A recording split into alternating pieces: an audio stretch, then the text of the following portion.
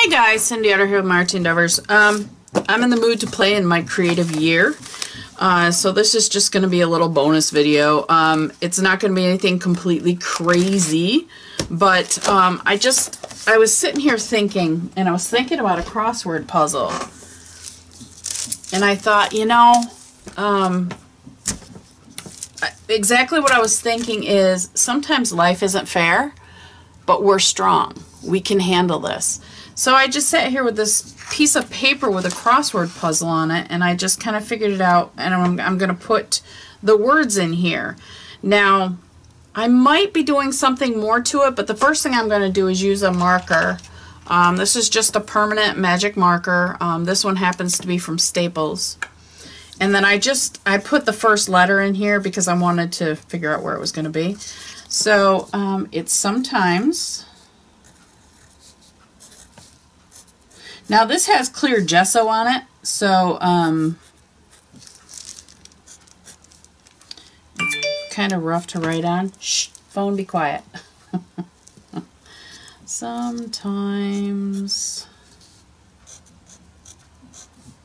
I think my husband's on the roof. Yes, sometimes life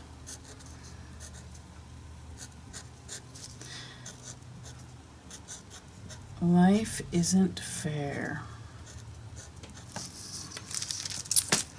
So I just, like I said, I sat here and I thought, hmm, I want to play around with this. Oops. Not a good thing to do, Cindy. You smudged your ink. Is... Um, I wonder if I can... I'm going to do isn't. And T put a little apostrophe there.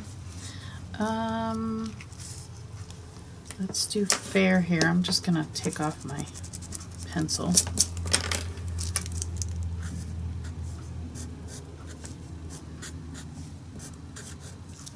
Sometimes life isn't fair, but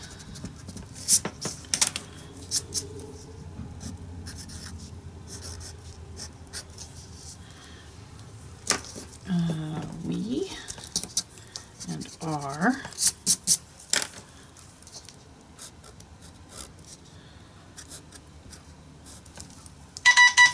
Oh, I've got to shut that off. Hold on. That's driving me crazy.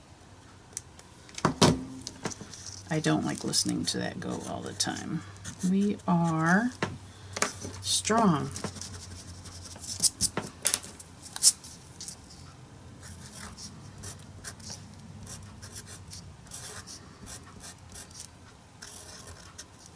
right?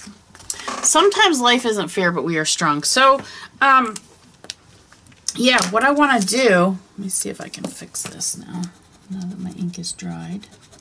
I can. Um, what I want to do is I just want to sit and play around with this page and I want to put it in my Creative Year journal. Uh, so I'm going to fast forward through this. I hope you guys enjoy.